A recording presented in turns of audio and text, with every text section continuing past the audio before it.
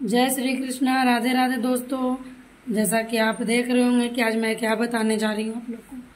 मैं बताने जा रही हूँ कि कान्हा जी का कितने टाइम भोग लगता है और कितने बार लगता है। तो चले वीडियो पे बने रहें और देख हलवा, मिठाई, लड्डू या मिश्री, कुछ ना भी हो तो मिश्री का भोग लगा दीजिए, तुलसी का दल रख कर और फिर शाम में जो आपसे बन पड़े वो भोग लगा सकते हैं। मिश्री, बादाम, कुछ भी, और रात में दूध का।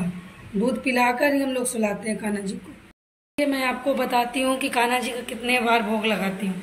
मैं तो कान्हा जी का तीन बार ही भोग लगाती हूँ, लेकिन बहुत कोई तो चार बार लगाते हैं। और मैं तीन बार ही लगाती हूँ। सुबह और शाम और रात में।